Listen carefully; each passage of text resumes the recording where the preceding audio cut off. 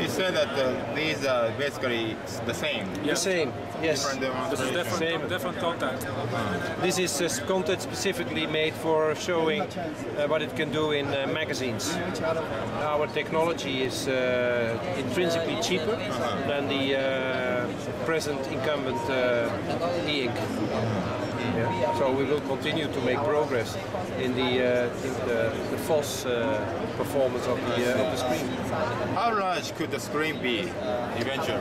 In principle, there is no limitation of the technology for the screen size, uh, but we feel that the first application will be more mobile usage. So for mobile devices, think about e-readers or smartphones. So maybe up to 10 inch, uh, 11 inch. But there is in principle, theoretically, conceptually, no reason why it can't be larger than uh, 10 inch. Uh, did you talk about uh, energy consumption? Very much depends on, the, of course, the user, uh, the, the user, uh, the way you use the product. Uh, if you uh, if you use it uh, as a passive uh, e-reading, uh, think you're talking about 10, uh, 10 15 uh, milliwatts.